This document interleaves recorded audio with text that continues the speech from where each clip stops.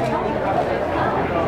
Came from um, my head. It came right out of my head. Um, I, I had never even I, of I thought of these two to the film. characters and uh, Um, wanted to make a and movie I think about I got about halfway there and people like, man, this is from really different worlds Um, colliding. Well, I met Leighton and uh, uh, we sat down and we talked about it, and um, I realized and that, really that she sort of she was perfect for it, and it was an easy decision. of the film and- uh, oftentimes in life. uh, I thought, you know, when I was writing the script, I had these people in mind, Billie and uh, Julian Shatkin, and you know, um, actually with Julian, he came in and, You know, and read, and one doesn't have I knew to do with immediately. the other, but Grueling, you know, in front of a very difficult. We shot in 20 days in New York City on a very low budget, Um, and we vice filmed eight to 10 pages a day, Being able to express which is, you know, probably five times as much as a normal film. extent, it has, and um, so it was to do with it, was really challenging to get this movie made isn't. It isn't in 20 days. Yeah.